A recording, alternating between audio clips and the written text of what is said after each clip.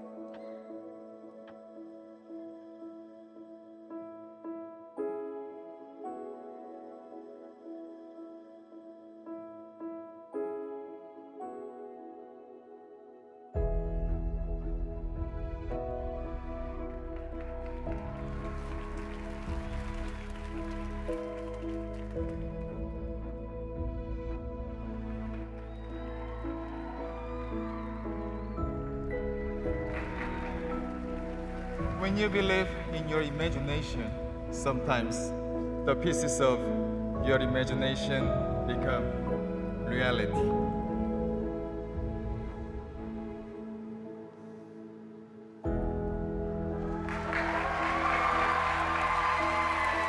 Just like this moment.